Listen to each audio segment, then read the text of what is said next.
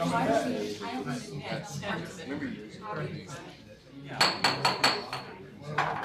afternoon. I'm going to call the meeting to order for the Friday, October twenty-fifth, two thousand thirteen meeting of the Buncombe County Health and Human Services Board.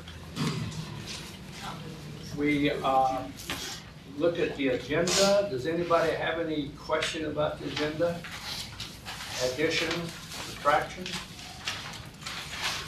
Do I have a motion that we accept the agenda as presented? So moved. Second. Second. Any questions? All those in favor say aye. Aye. Now we move to the uh, minutes. Um, I I must say that uh, Krista found that uh, there was a date that was uh, wrong. Uh, It indicates in your minutes that August, that it should be September 27th, and she's already made that change.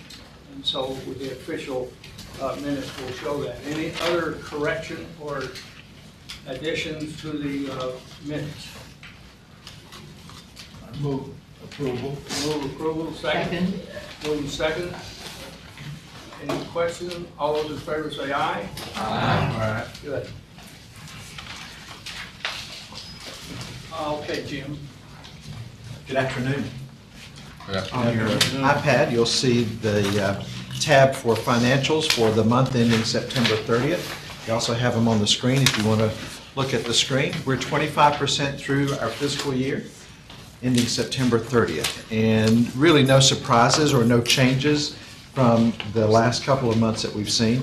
As you see where we're above the 25% mark, remember aging services on how we pay out that contract for our community contracts, depending on our payment schedule of how we provide those payments. Some of those are paying a little bit in ahead, ahead, so that's why we're over in that. And then administration, if you remember, that's because of paying for unemployment and workers' compensation insurance at the beginning of the year for the entire year. Overall, we're under the twenty-five percent of where we could be in spending while meeting all of our services. Next, we look at public health budget, uh, twenty-five percent through the year. and You'll see that we're right on track with our spending patterns as we had last year. Uh, One area where we're above twenty-five percent is in administration again. And again, that's because of unemployment and workers' compensation premiums that are paid at the beginning of the fiscal year. Just as a reminder, we'll give you an update on revenues. We'll do that twice a year. We'll do that at the end of the first six months so that you have a clearer picture of where we are in revenues. I'm happy to answer any questions that you might have. I just want to make sure I understand it. Does this mean we have no contracts in the health area? Uh, We have no specific contracts, yes, that we, that we paid out. That's correct. So I can understand what it means when there's nothing there. Yes. We have it there but it's because there was a comparison to last year. Last year, okay, thank you. Where are our, uh, I should have asked this before, where are contracts for like winches and pro, no, Community Health Service and Project Access, where do they reside within the overall budget? Uh, Project Access has its own separate accounting unit that sits outside of both DSS and Health. Okay, And uh, the contract that we have with Vinnie Jones is the same way. It sits in a community okay, community it has a, contract. it's a community contract, okay. Yes. So is that listed here? Oh, yeah. It is. So it's community contracts. Thank you. Any other questions? Thank you very much. Thank you, Jim. Thank you very much. As you know, we are in- still involved with uh, orientation since we are a new board trying to gain all the experience we can in in regards to the areas that we will be involved with. And so to continue with that, Angie. Yes, thank you. So um, I'm very honored to introduce two professionals to you. Many of you know Tammy Shook, who's been in this work, we talked about it this week, for 25 years, believe it or not. And she is very well regarded across the state for her expertise with her colleagues and her peers, and I highly respect this woman and the work she's done. And our newest member of our management team is Katie Turk. Katie hails um, from Catawba County and worked there for 12 years, has her LCSW. She um, is our newest addition and has just taken off running, so we're really happy to have her. So Tammy and Katie are going to do an overview for you today, a very broad overview about the front end of Child Protective Services, which includes intake, investigative assessment, and family in-home. A Couple of you, Candace and Jennifer, have heard parts of this. Um, we really want this to be interactive, so please interject, ask questions. When you walk away today, our intention and hope is that you understand on a very broad level what it is this front-end work does in the community. All right? Thank you, Angie, and good afternoon.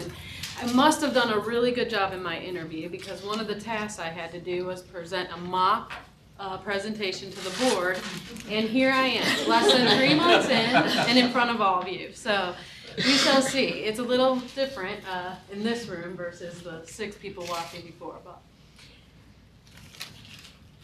um, what we're gonna do today, Tammy and I together are gonna walk through um, just intake, which I oversee, the family assessment response, which is part of the investigations in child welfare, and the forensic track. We're also gonna talk about uh, philosophy within our child welfare unit, which is um, using an ABA guide in decision-making.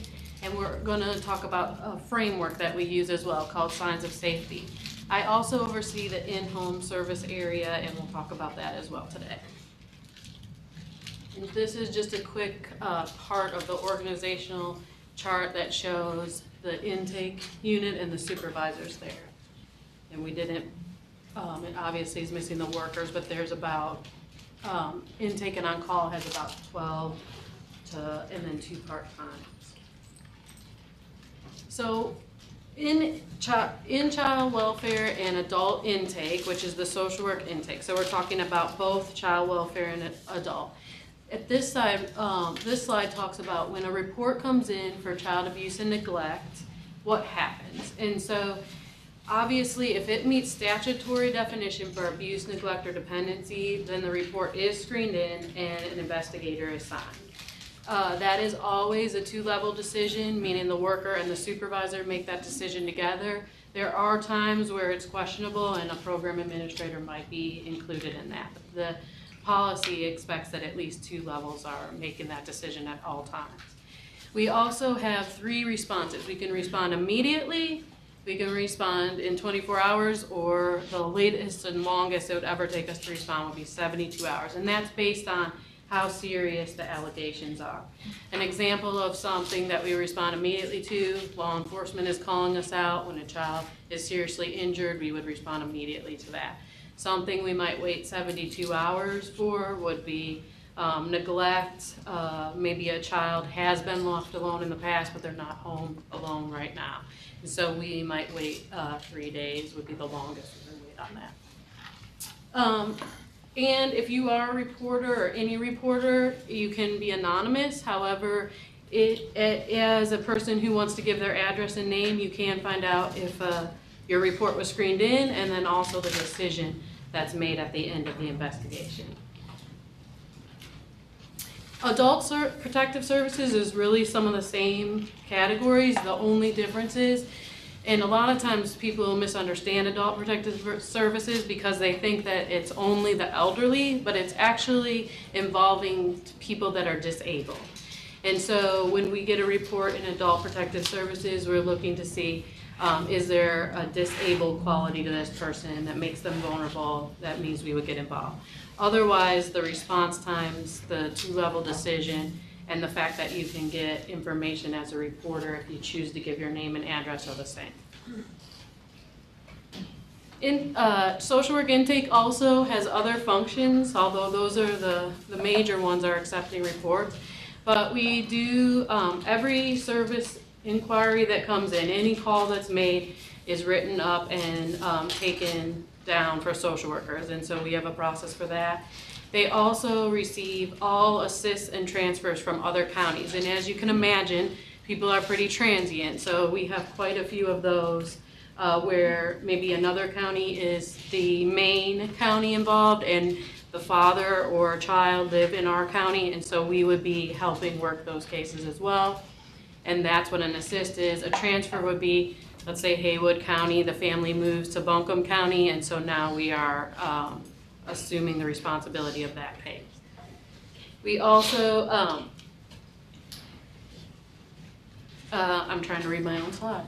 Uh, Child Protective Services, um, we answer many questions for a variety of reasons, and we interact with all the different agencies in sending, um, you know, questions and phone calls and transfers throughout the organization. And when we do screen out reports for um, investigation, many of those, and we'll see a slide in a few minutes that has the statistics about that, but are sent to preventative services where families are offered voluntary services in order to meet the needs, even if they don't rise to a mandated level.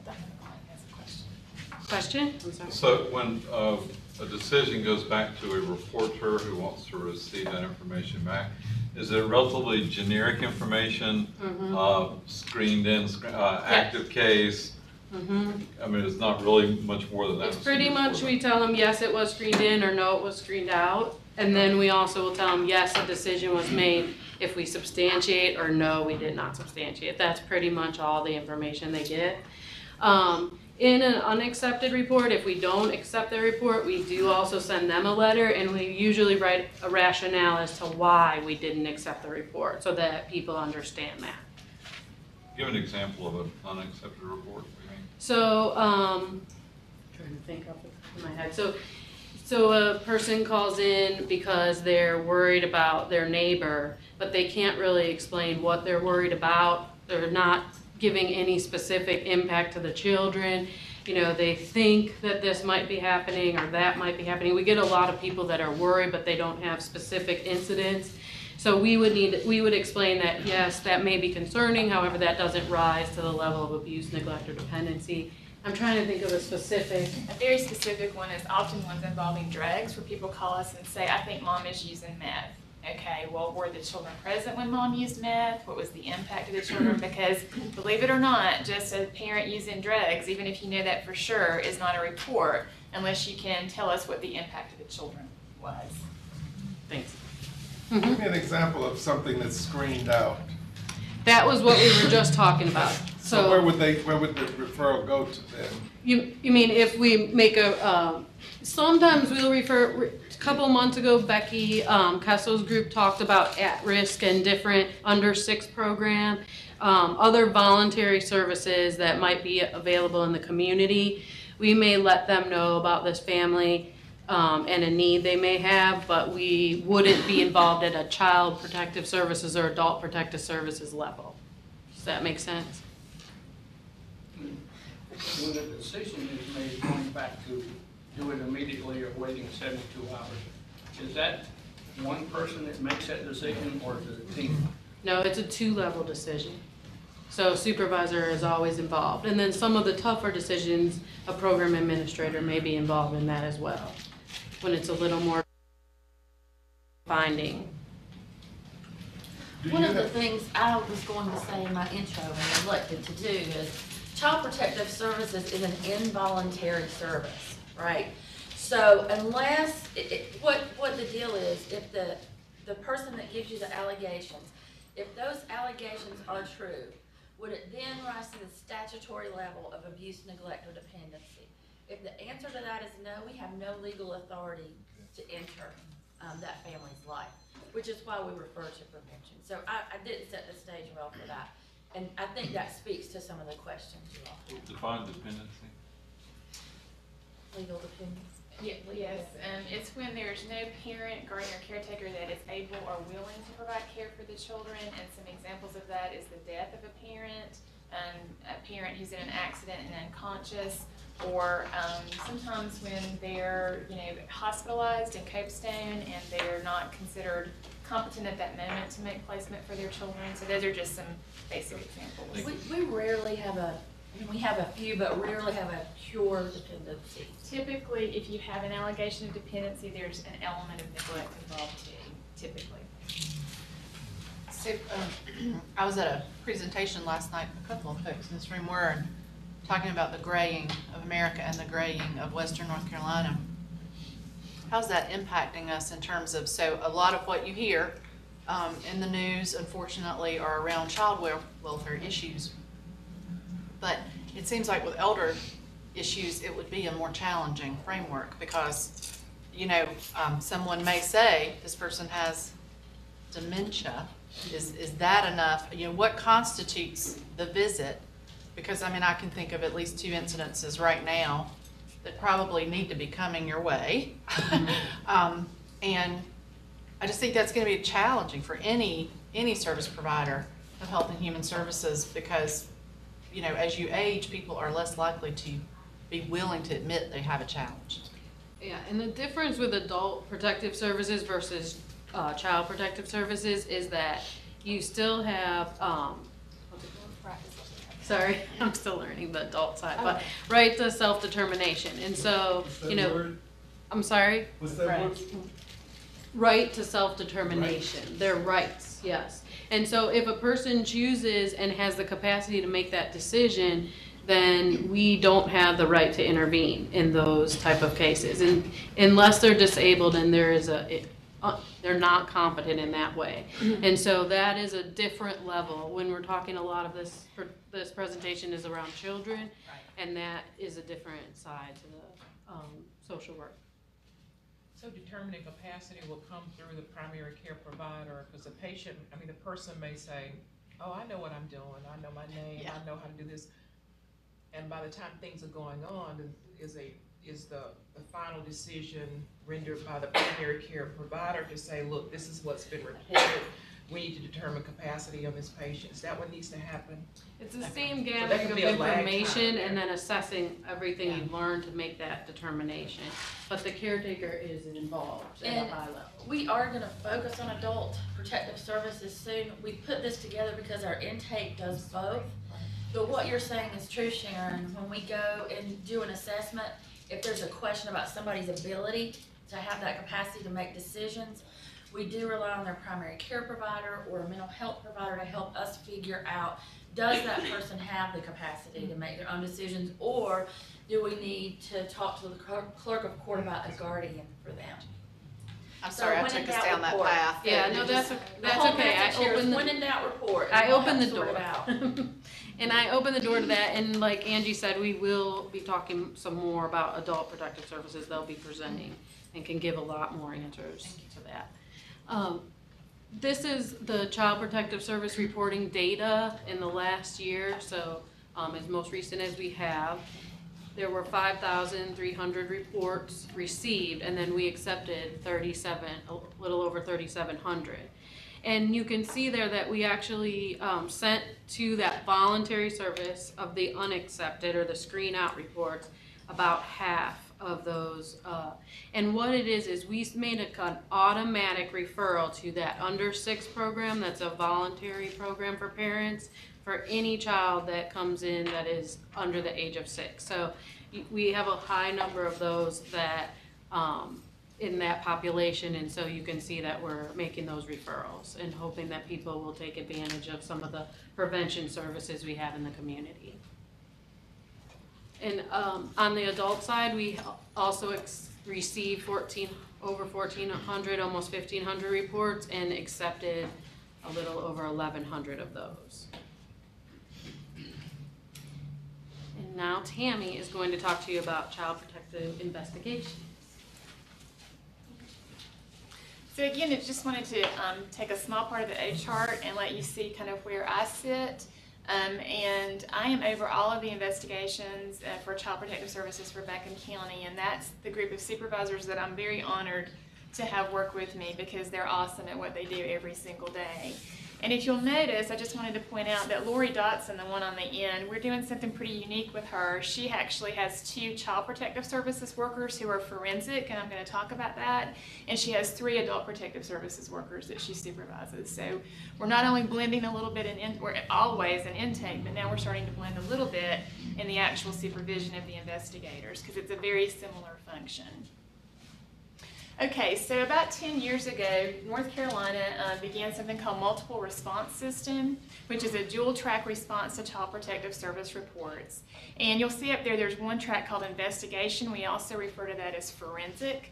And the family assessment approach. The thing I want to draw your attention to is that uh, both of these are non-voluntary services. So both of these are where that intake process has occurred and a valid CPS report has been accepted. A Child Protective Services report has been screened in, which invokes the jurisdiction that we can enter the, the family's life and intercede and intervene where we need to. So because there's dual response doesn't mean there's not a valid CPS report.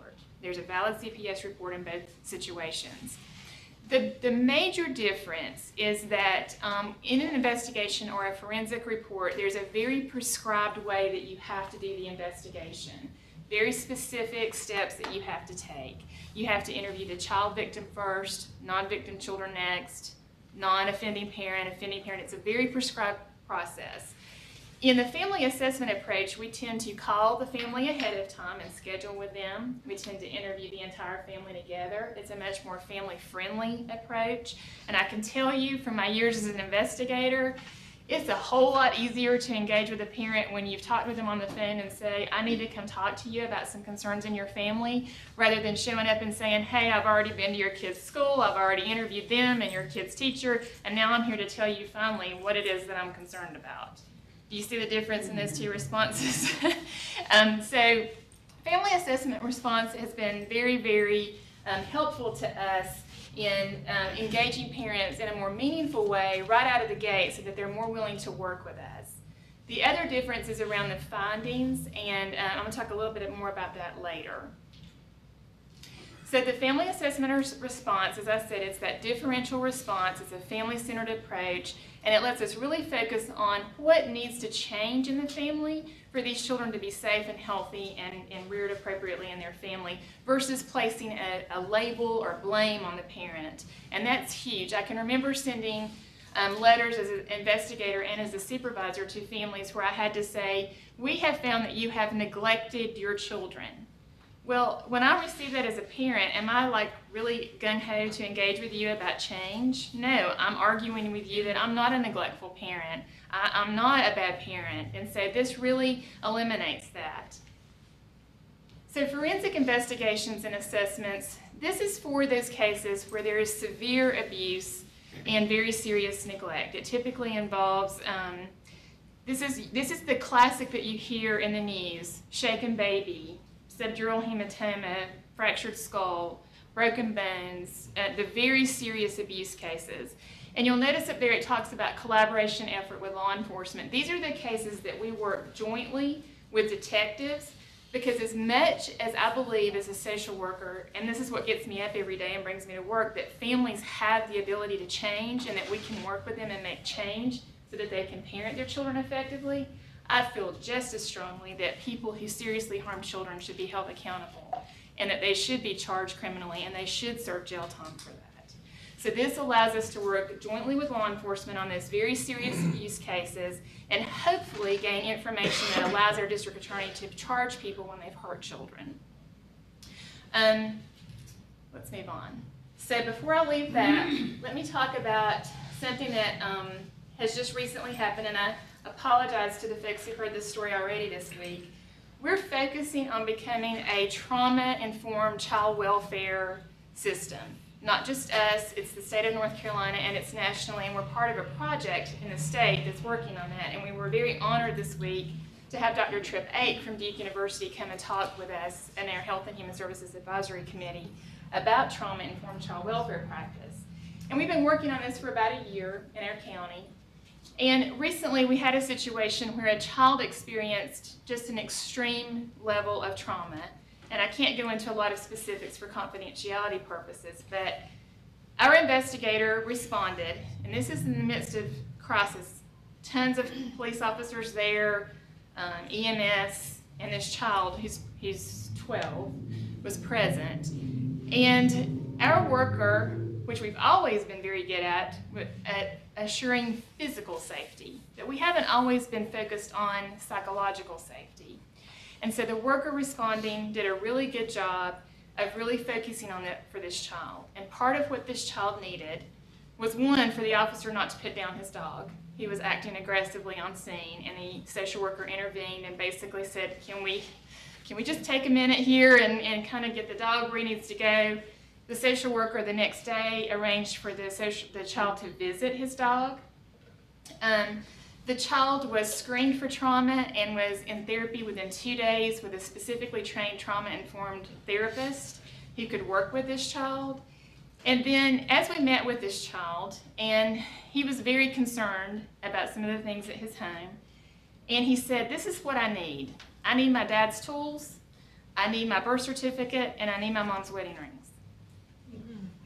And so who would have thought that a 12-year-old child needed those items to feel safe? I would have gone in there, which I've done before in the past in cases where I've had to go back into homes and picked up teddy bears and you know things that I thought would make a child feel safe, but that's what he needed to feel safe.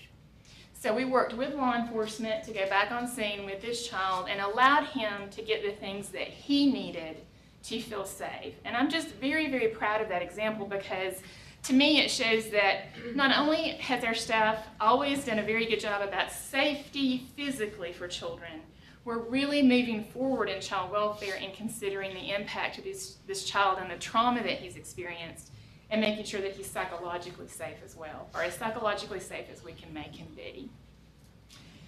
So I wanted to talk a little bit about how do we make these decisions because I think that's the, the mystery to people in the community. How does child welfare decide when we remove a child and when we don't? And that's the chief complaint that I usually answer on the phone. We've either done too much or we've done too little. There is no happy medium for the public with child welfare. And so what we look at when we're making a decision is, are these three things. What are the threats of danger to the child? What's the child's vulnerability to the threat? And what protective capacities does the parent have or not have to keep the child safe? So let's talk about that. So all of us at home have threats of danger, right? Mm-hmm. In your house, if you think about where you live, we all have threats of danger in our home. And if you have children, depending on their age, they're vulnerable or more vulnerable or less vulnerable to that threat. So let me give you an example. So how many of you, when you had toddlers, got all the little plastic thingies and plugged up all of your electrical outlets, right? Okay, yeah. And you did the, you know, you did the clamp thing on the cabinet doors so they couldn't get in and all of that business. And so as your children aged and became, you know, elementary school age, you kind of backed off of that, right? You weren't so concerned about the electrical outlets mm-hmm. because you're hoping by that point they figured out not to stick stuff in there, right? So then here's what happens if you're not paying attention. Then you have a niece or someone come over, this happens to us, and you're like, oh gosh, I haven't got my outlets covered up again, you know? And so you have a younger child and they're vulnerable to that danger again. Well, that's what we're looking at. What are the threats of danger in the home, and what's the child's vulnerability to that? Because you can have a threat of danger, but you may have a child that's not vulnerable to it. You can have a threat of danger, you can have a child that's vulnerable, but you can have a parent who is acting protectively and protecting the child from the threat of danger. Where we come in is where that is not happening. Where we come in and where we have to intervene is where you have a threat of danger, you have a vulnerable child, and you have a parent who either isn't acting protectively or can't or won't. Okay? So we're looking at what's the difference between safety and risk. When we get out there in an investigation, which is what my folks do, we're looking at this immediate point in time. What is happening right now that says this child can't remain here or needs some type of intervention to be safe? Risk is that kind of vague notion about what could happen, what might happen in the future, right? And so it could be mild to serious, again, dependent upon what the threat of danger is and what the child's vulnerability is. Is this making sense? Yes. Okay, so this is I want this is what social workers are thinking when they're out in the field working with families. So this is just what I've been talking about. And the ABA guide, what that stands for is the American Bar Association. And they had um, an attorney who worked with a National Resource Center Child Protective Services employee who got together and wrote this guide. And they actually wrote it for judges and for attorneys to use that really explains what I'm talking about so that judges get it, get what we do. But we liked it so much that we're using it to explain how we make decisions. So this is just repeating what I talked about. So vulnerable children, they're safe when there are either no threats of danger or the family exhibits sufficient protective capacities to take care of them. So how do we know that? Okay? So if I walk up on a scene where obviously there's something tragic happening, ladies and gentlemen, it's not rocket science to figure that one out, right? When you walk up and it's that blatantly obvious. But that's not typically what we deal with. Typically what we deal with is this vague report, like Dr. McLean's like, what, what do you do? So let's, let's go down that road. Mom's using meth and she's taking the baby with her and she's high while she's caring for the baby. The impact of that baby is it's not getting its needs met, right? Probably, if someone's high on meth. Well, how do we know that? Because if we walk out there, guess what? She's probably not high at the moment that we show up, right? So we're asking the information to answer these six questions. And how do we answer those six questions? How do we gather that information? And that's where the skill level of the social worker is so important. It's observation, it's interviews, it's talking to collaterals, which might be law enforcement, neighbors, grandparents, other children, and trying to look holistically at the family, okay? Because let's say, I don't know how many of y'all raised a teenager, okay? But let's say you get a report like this. Dad hit the teenager and bested his lip. They got into a scuffle, dad hit the teenager and bested his lip. Okay, not good, not appropriate, we can all agree about that. But if you've ever had a teenager, have you ever felt like hitting them? Yeah. I mean, have you ever really? I mean, seriously. And so when we go out there, we're not just focused on did dad hit him and best his lip? Because that's pretty easy to determine, right? The kid's like, dad hit me and busted my lip. Okay. Let's look holistically at the family. What was going on? Had dad just lost his job? Um, was the kid, I don't know what just happened to that. Was the kid late for curfew? Was the kid smoking dope and dad caught him in his room? I mean, there could be lots of factors that went in that led up to the point where dad hit the kid. So part of a good investigation is looking holistically. Is this how dad normally disciplines him? Or was it something out of ordinary? And we're going to look at all of that before we make a decision about involuntary services and what needs to go forward. Am I I promise getting I'm gonna try something? not to So unplug. while he's doing that, I'm, I can't figure out how to get to Safari or, or Google to look it up. What's the difference between maltreatment And mistreatment. and mistreatment? Maltreatment and mistreatment. Yeah. What's the nature and extent of maltreatment? Maltreatment typically is what's used to talk about child abuse and neglect. I don't know, I don't know, Mis, I always think it's mistreatment. we, we use the word maltreatment typically. It's the legal It's term. legal? Yeah. Okay. Oh, I couldn't get to, to look it up here, so that's why I had to ask. you. Yeah, that's typically what we use. Um, and so one of the things that we're doing to try to gather this information with families in a strengths-based approach is using another tool that we've been very fortunate to have exposure to. It's called Signs of Safety. And I'm going to turn it back over to Katie, and she's going to talk to you about that.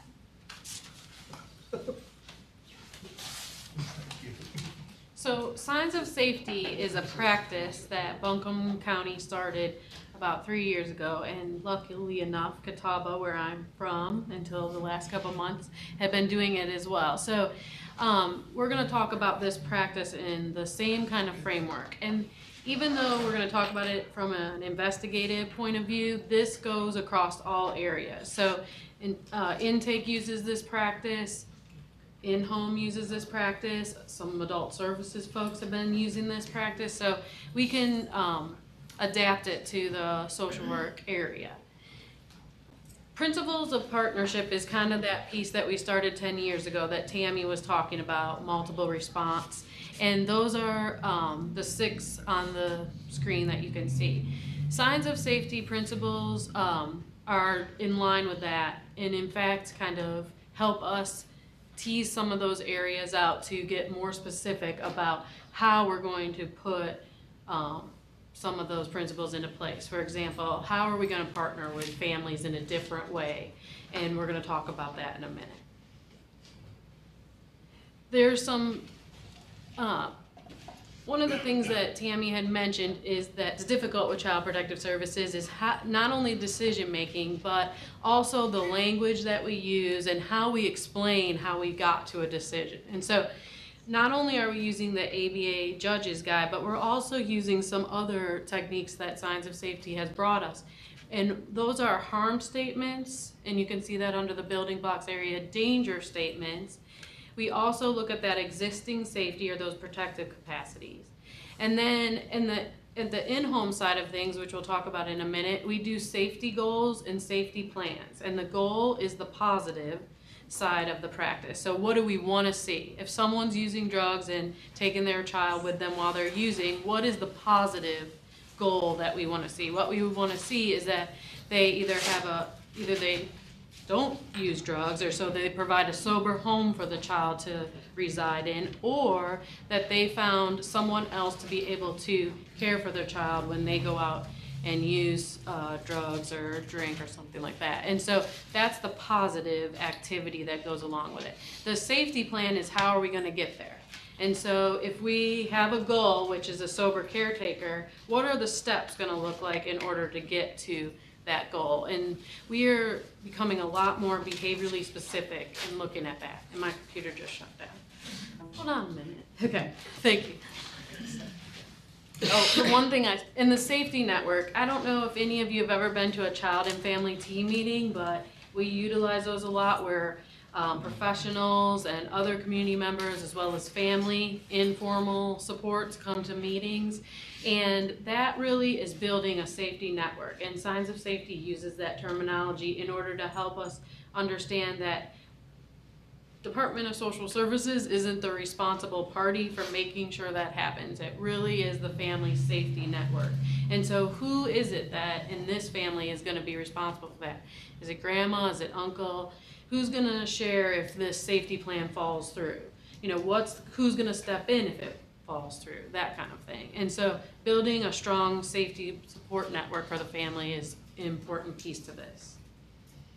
So we're going to talk a little more specifically about a harm statements. And the harm statement is what happened. So what happened that caused us to get involved or what, and you can see it allegedly happened. So at the intake process, we don't know if it happened, but we're learning it, so it's reported. At the decision-making process, we know, so that's where we say, you know, this is what we found, and then the impact of the child. And a, an example of that was, it was reported that mom and dad drink beer, take pain pills, and pass out while Joey is left on the floor to crawl around. Impact that he was burned on his hand from touching a kerosene heater. So that's really specific. That makes it easier when we're talking with families to explain why we're here and what we found, rather than, you know, having conversations where we're kind of disagreeing. Families a lot of times will agree with and help us write these harm statements as we um, work through the uh, process. And danger statement. So we are we know what the harm is. Now we're looking at what the danger is. What's the future risk?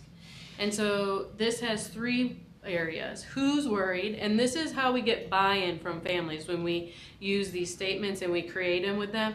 So we know that we're worried, but who else might be worried? Is your mom worried about your child? Is your dad? You know, is Uncle Susie? You know, that kind of thing. I mean, Uncle Sam. Uncle Sam, thank you. Uncle Susie. Never know. It's a boy named It's a boy Thank you. Thank you for supporting me. You're okay. Oh, that's funny. Okay. Yeah. We're listening. Yeah. I'm glad, I'm glad. Um, and then the behavior of the caretaker, what might happen? So a lot of times if you have harm, then you use those same type of things to, to say what happened. And then what the possible impact would be for the future. Okay, this time he was burned by a kerosene heater, but what could happen in the future? And so in this statement, an example is DSS and grandma are worried that mom and dad will drink beer, take pain pills, and pass out, leaving Joey on the floor like the time when he burned his hand on the kerosene heater. And Joey could be hurt or killed in the future. And, you know, we don't always go to kill, but the reality is, if there was a serious fire, that is a possibility, and we talk about that. You know, we don't wanna over, um, dramatize something, but at the same time, that is the reality, and helps families buy into the concern at a different level than if we're just talking without being specific. So I'm gonna show you a video, and we found a video from the news of another county so that we were not, um, having any problems around confidentiality, but I'd like you to think about the things we just talked about. So if you were gonna help us write a harm and danger statement, what happened? Who was worried? What's the impact? What would the possible future impact be as you watch this video, and then we're gonna talk about that.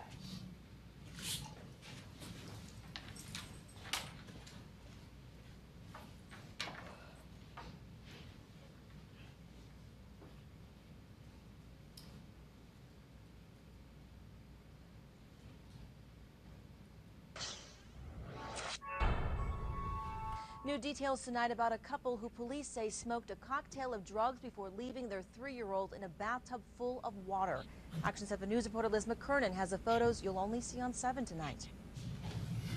Take one look around and it's not hard to see. David Allen and April Ulibarri lived in a big mess with their three-year-old daughter. everything they lived in probably on a daily basis, they probably thought that was normal for, for them to be in that kind of filth and those deplorable conditions. I, I felt sad for them. A few weeks ago, the couple called for medical help. According to police, when officers arrived, they found Ulibarri passed out in the living room after using heroin, meth, and marijuana. Only a few feet away, officers found their three-year-old daughter sitting in a bathtub filled with nearly six inches of cold water.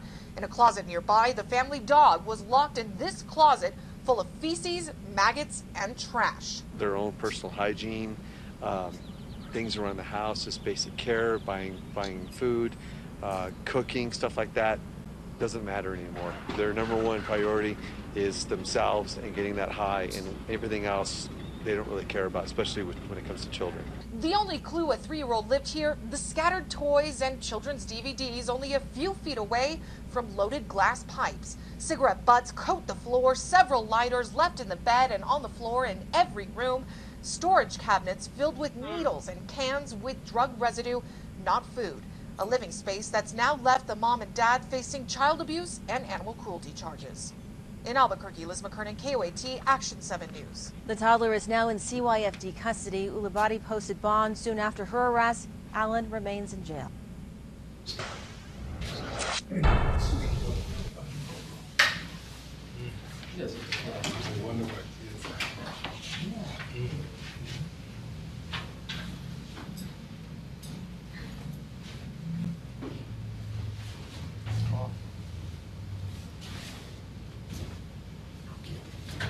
Sorry. I'll do it. Go ahead. Thank you. Um, so I guess first we want to just ask kind of what, what are your reactions to that scene? Anything that you want to say or share before we come? They need jail time. I think we need to, bond should not have been an option. Bond, yeah, hosting bond. Social We should not services have should have given them taken bond. immediate custody of that child and removed them from that Home, home. and leave mom in jail. She's already out. Uh, we should have left her, we should have given her bond back foot. Well, and unfortunately, these are the kind of scenes that our social workers do go out and run into. And what we, what we have to do then is take something like this and make it real for the family to help them change, okay? And so, um, what we wanna do is using that clip there, we wanna talk about how would we, sorry, I put my little clicker down. Oh, thanks. How would we um, write a harm statement from that scene? And so we decided we would let you all help us. So it was reported that. So what would we put in the what happened? Mom and dad were both using drugs as evidenced by the appearance of drug paraphernalia all over the home and their, their status of being intoxicated. Right. Heroin, meth, and marijuana. Very All good. You're good at this.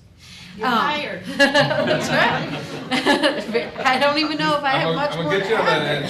that. And we also have the hazards around the home, needles, lighters, cigarette butts. The home was, Right. was strewn with garbage.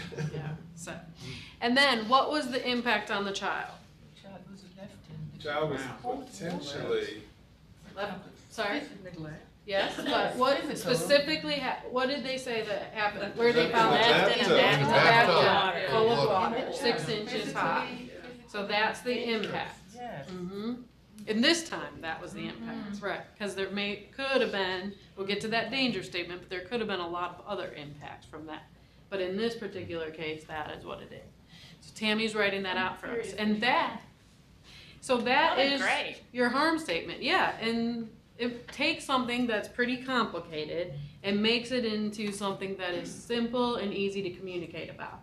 And many times we write these with families together. So it's, we do what we just did right here.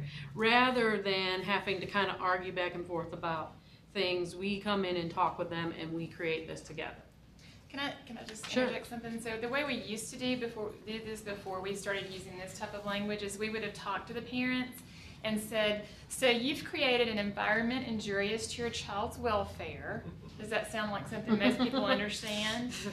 Okay, and, and they would have gotten caught up in arguing with us about whether they were actually high or not, and blah, blah, blah, blah, blah. And we're like, okay, you know, we're not really here for you to admit anything to us. We're just going to try to focus on what, what did we find? And what was the impact to your child? And that's what Katie's talking about. If you can engage them on a level, because I know that visceral response is throw away the key, right? You're like, put them in jail and throw away the key, but that's not reality. Okay, she's already out on bail, mm-hmm. and guess what policy tells us we have to do with this mom and dad? Get them back together, get 'em together. We have to work on it. And guys, that's what gets me up every day because I believe mom and dad can get it together and can raise their child and can be healthy and, and act protectively. If we didn't think that, we wouldn't come to work every day, right? And so, how do we engage them in a way so that they are on board with us and wanting to get better? And this is it, this right here. Because even these parents, once they sober up, once they get to a place where they're able to have a rational discussion, they're going to recognize that leaving their kid in, a tub of six inches of cold water was not a good thing to do. And that's where you hook them. So danger statement. So we have the harm statement, and then the second piece we would do is the danger statement. So what are we worried about for the future? And this helps us then plan for the, for the next time. And so, uh, who was worried in this scenario? police and DSS. Police, DSS?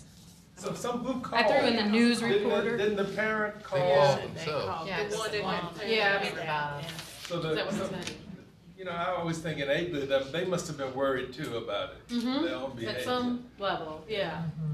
yes. So the child said. Parent. And a lot of times that happens when they call because they are worried about their mm-hmm. child. Like if it was just them in the home, maybe not. But they do call because they have a child and they know that they've kind of gone past where they can actually care for the child. Might pass out. Uh, yeah, so we have who's worried, and then we say, um, so we, we said DSS, the police, maybe even they are worried, possibly the news reporters worried, that what might happen. So what would the what part be? What might happen again? You take that impact piece. The child might drown in the bathtub. Oh, I'm sorry, I jumped to the impact, yeah. What happened? So we had the, that they might use drugs again, take, Use drugs again. leave the home with Leave things hazards. Lying around and- that the child might hurt them. Well, I'm going to impact. Oops. No, but yeah, make Leave, use. leave, leave drug product lying around on the floor. Mm-hmm, Child might Child could pick up ingest a them. needle and put it, that's right. That's inject it. themselves. Future impact. They could inject themselves, could drown. I heard also, did you say something else that could happen?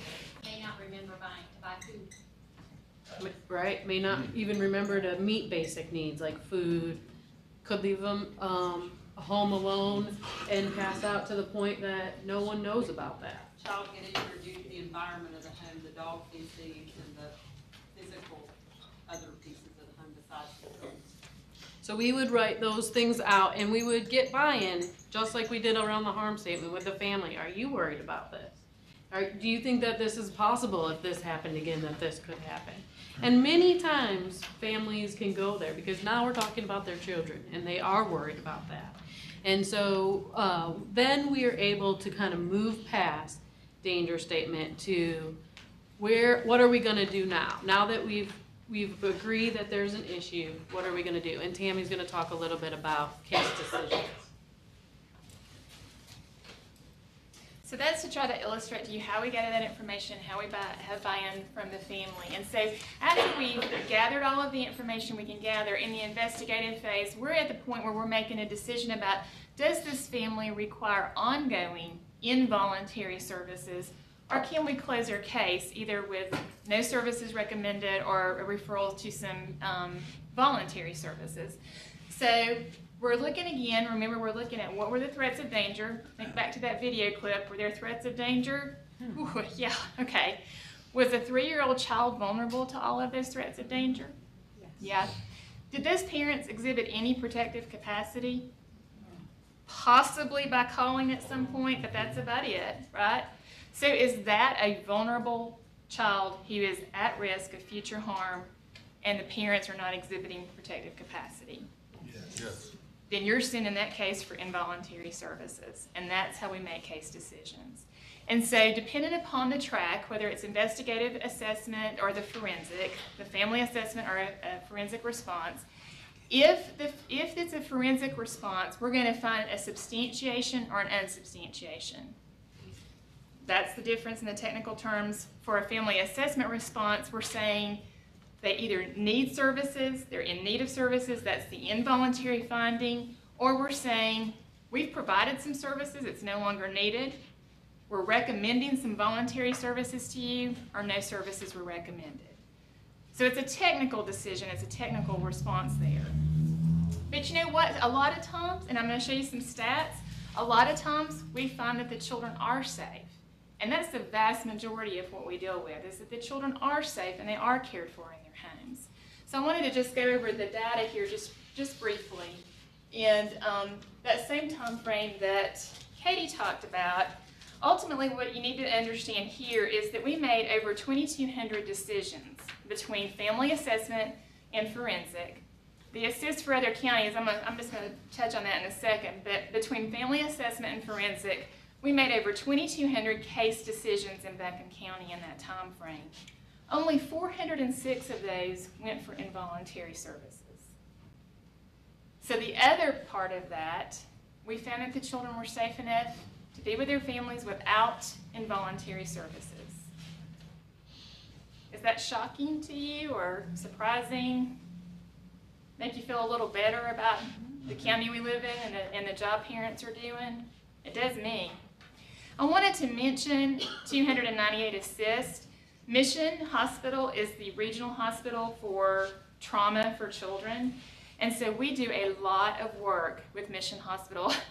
Their hospital social workers and I are BFFs. We are in contact with each other all the time. We host a regional meeting. Um, Mission Hospitals and I get together and invite all of the regional counties to come in and meet about that because that's where they send babies who are hurt and young children who are hurt really severely. And so the assist part of that is we're usually the ones responding to the pediatric floor, pediatric ICU, and working with the doctors and the nurses about those immediate decisions that have to be made about the children's care and interviewing perpetrators. If you find a difficult situation like this, but grandma's willing to take the child, Uh-huh. do you take the child into custody or do you let grandma take care of the child? Excellent question. Um, if the family has viable option available that can care for the child, and then they check out, and so we have to run some background checks and some criminal record checks and that kind of thing. If they have significant criminal history, or we have history where they were a caretaker and we've had lots of involvement with them, which unfortunately is often the case, we can't approve that. But if it's someone who can care for the child, who we feel like understands the nature of the concern and is willing to work with us around protecting the child, then absolutely. The other thing that we have to consider is, is this a situation that's going to resolve itself in about 90 days? Because that's about what amount, of time we're allowed by policy to do what's called a kinship care arrangement without invoking the jurisdiction of the court. This is not a 90-day fix. You know, right here, this is not a 90-day fix. When you're talking significant substance abuse and addiction like this, these people are not going to be ready and able to take their child back in 90 days. So in a situation like this, we would take custody of the child, and then if there's a relative that's available to care for the child and is appropriate, we can ask that the court sanction that placement and place the child with a family, that we have custody. Does that answer your question? Um, absolutely. Any other questions before I turn it back over to Katie, to finish out on family in-home? Does any of this ever become legal kind of evidence? Like if you're getting the family to say, yes, we did this, then does that get, do you turn it over to Law enforcement. prosecutors and law enforcement? Um, very good question, and absolutely. And oftentimes, we get confessions that law enforcement doesn't get because we're we don't have guns and badges and uniforms and all of that stuff. And so, oftentimes, we're the ones that the families tell the actual truth to. Um, and so, remember back to my statement: I'm all about families having the opportunity to change and do better. But I'm also all about people being held accountable for hurting children. And we work very collaboratively. Our sheriff's department's awesome in the amount of work that we do with them collaboratively and APD. And so um, we they have access. We Mandy worked with um, the chief and with the sheriff, and they have access to our records when we have a joint open case. They can go in and read our narrative verbatim. And so yes, they have access to everything that we do with families. And if they can use that prosecutorially, they do. I- I'm sort of concerned about that safety, um, and this is the question. When they get a complaint, do they go in alone? The social workers? Yes. Yes, they do, most of the time, but we also have, um, a, a deputy who works for their after hours on call, um, was under contract, and so he responds with them. And if we ever feel like they need someone to go out with them, we can certainly call law enforcement, and they're always happy to go with it. Well, I won't say they're happy, but they're always willing to go with us, um, and help us in those situations. But again, I mean, I just cannot brag enough on the staff that we have, because guys, this takes this takes a special person to walk up cold call to a door and knock on the door and walk into that and be able to deal with it. And at the end of the day, guess who that mom is probably hugging and thanking? Seriously, at the end of the day, it's the social worker. And so they're very skilled in how they work with families, and, and I'm always amazed every day at the amazing work that they do. And the, and the limited amount of complaint calls we get. I know I feel like I get them all the time, but when you look at the volume that we deal with, very few complaints on social workers. Very few. Any other questions? All right, so now we're gonna talk about where, what happens to those four hundred and six cases that we found in need of services or substantiated. And they go to what's called in-home services, and this is a mandated in-home services. And sometimes it gets confusing, because I know other type of mental health and different places have in-home services, but this is child protective services in-home.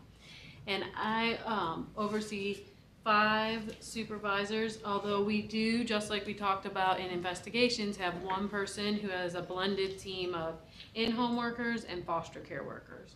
Otherwise, these are, um, each have five in-home worker in their units. Mm-hmm. Uh, IATSW, I'm- I know SW stands for social worker, I is investigative. It is um, investigative assessment treatment. It's an old kind of term that is used. It's how you classify them. So that's what the, that's what that stands for. Because they're all child protective services, even though we split them versus investigators and in, in him.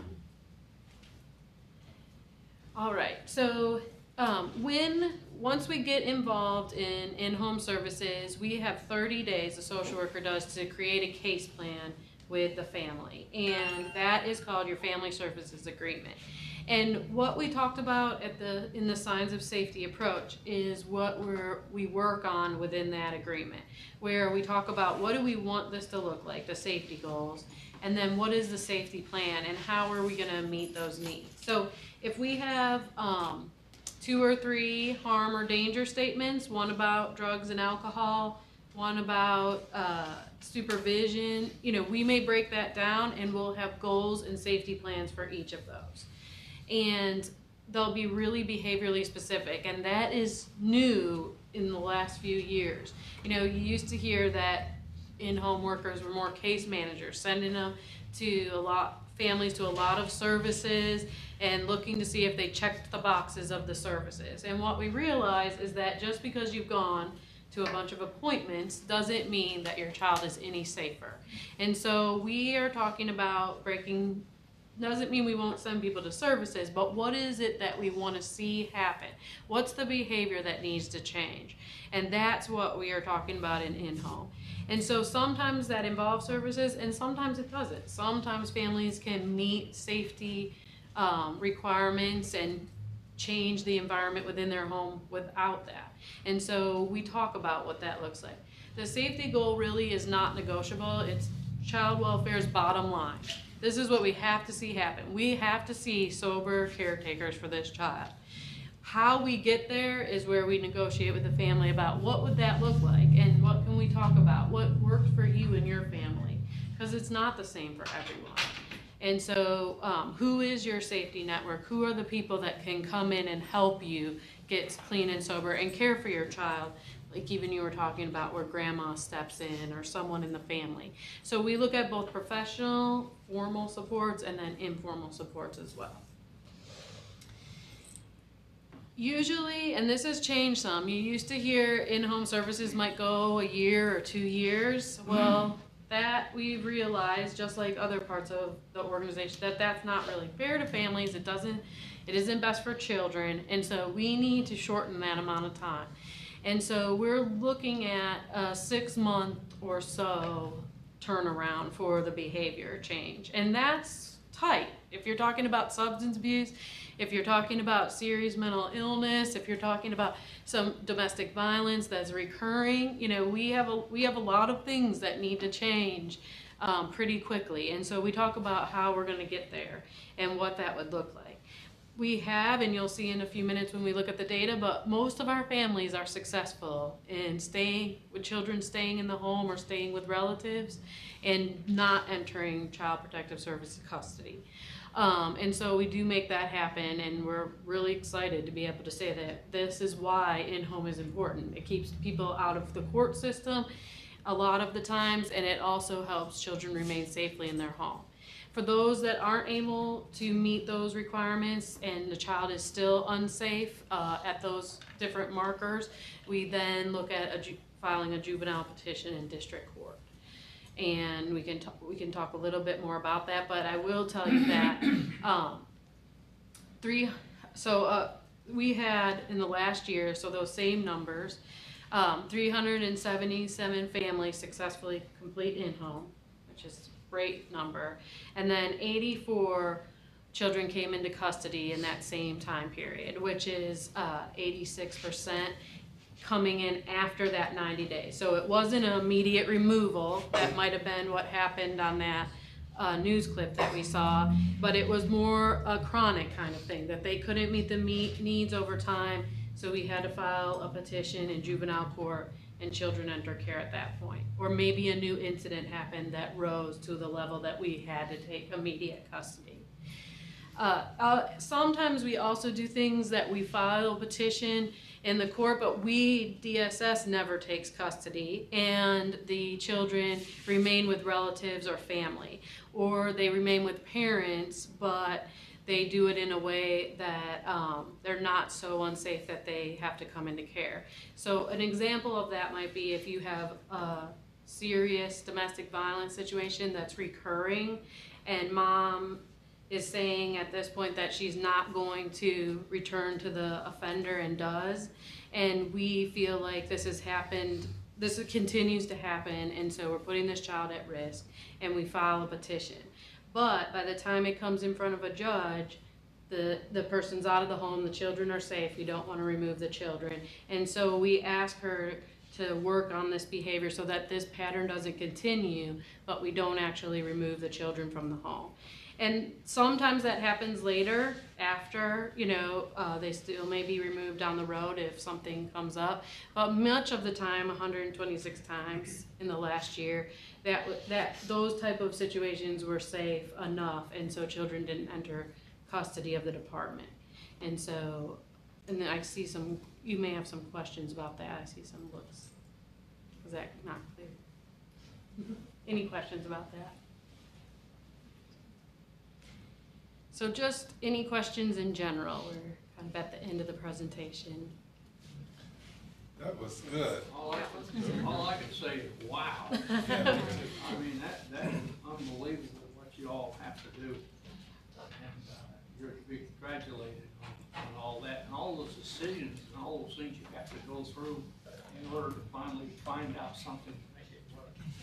Uh, it- Yeah. It's a great, great thing, great thing that uh, y'all are doing for the people in this county. Thanks for me. Well, Thank you, and, you know, the social workers are very busy, because they spend a lot of time, uh, really engaging families, and so, you know, we, like Tammy was saying, are very proud of the work they do, because it's, it is a lot of work. It's You- hard work. You tell the review board that you did well with your interview in front of the board. Well, thank you, good, The I other- appreciate it. The thing I like to say is whenever I hear cases on the news, then my immediate response is, I hope that's not Buncombe County. And I haven't heard Buncombe County in the news with one of those child cases, and I am proud of y'all for keeping us out of that. I mean, it, that's a, that's a real selfish thing, but I'm proud that we don't get the kind of press that some of our neighboring counties get. I don't know, I don't. I won't speak to that. That's right. I'm, Thank I'm you. serious, it's, it's important. I listen to that, and then I think of all these misguided, uh, middle school kids who are shooting people in Oh, school right. and everything, I said, oh, wow. Because there's something going wrong in that, in that family. Uh, And it's just too bad they don't have you all to to look at it to start with, but anyway, uh, great job, great job. Okay, Andy? Um, we've sent to you some very detailed information about what the impact we would have felt in some instances did feel related to the federal shutdown. Um, that got resolved, at least temporarily, so we weren't gonna talk about it in as great a detail. I think I actually sent you the PowerPoint that I did for commissioners. But did, and, um, Jim, I don't know if you and Jennifer wanna jump in at all, but did want to again make the point, we're very concerned we'll face the same situation in January. Um, the, the, you know, you saw WIC benefits were actually stopped and then that was, um, retracted. Um, work first benefits were actually stopped, the cash assistance that goes to families and employment services. Um, and we were a couple of days away from food and nutrition services, food stamps being stopped, which got almost no play in the media, which was interesting to us. Um, the impact of the shutdown for Buncombe County, hundred ninety-six thousand dollars a day would have been the impact of those lost revenues for us. We'd still been required to provide the services. What we are most concerned about is food nutrition services, what we call TANF, Temporary Assistance for Needy Families, which in addition to Work First supports child welfare, much of child welfare. And Social Service Block Grant, which is the only funding we receive for adult protective services. None of those have been reauthorized in several years. Um, they've been operating on continuation budgets, and there is much fear. I'm on a, um, a national committee that's actually having a conference call on Tuesday to talk about what if none of those are reauthorized upcoming session. So we just think you have to be aware of those because the impacts are significant for them. Um, the, our TANF money at risk is two point four million. Um, about half, a little over half a million in the SSBG. And then when you actually talk food nutrition services, sixty-eight million in benefits, um, in the community and hundred and twenty thousand dollars a month in administrative costs for us that are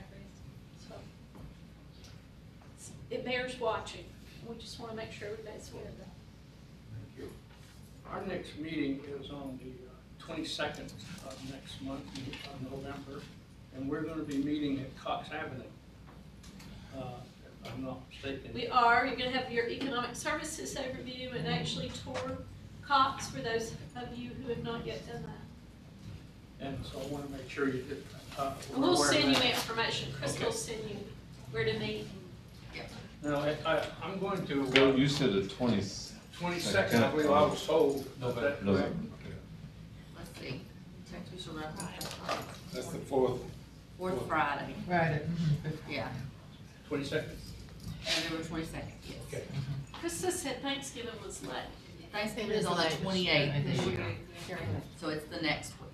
I'm going to ask, if you will, if you are a manager in any capacity in health and human services, I want you to come up front right now. Anybody on, in staff who is a manager, would you please come up front? Come on, folks. You did have the word please. in. Supervisors, department heads, Supervisors. managers, division heads.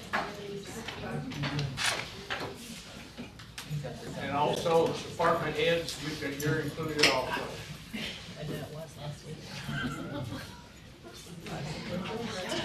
Don't, everybody can't be in the back row. It's like being at church.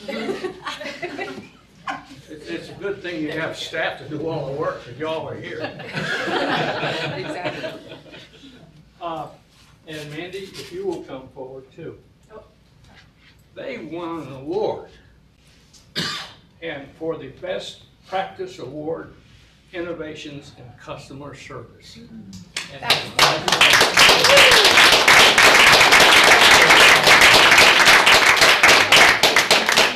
And that's from the uh, state DSS people who have presented that award, and well done, folks. And It had to be your leadership and all the people that work with you to make that happen. Well, it came from the DSS Association. It's specific to integrated health and human services is the category that it went in. Customer services and integrations. Congratulations. That's very nice. Yes. Thank you. Thank you.